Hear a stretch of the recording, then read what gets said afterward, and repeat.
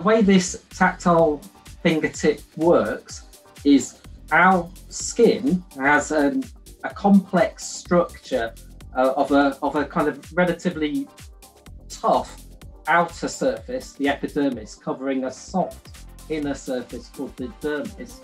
And between those two layers of the skin are these structures called dermal papillae. Uh, so we 3D print that similar structure into our artificial skin so that it can respond to contact in a similar way to, to human skin.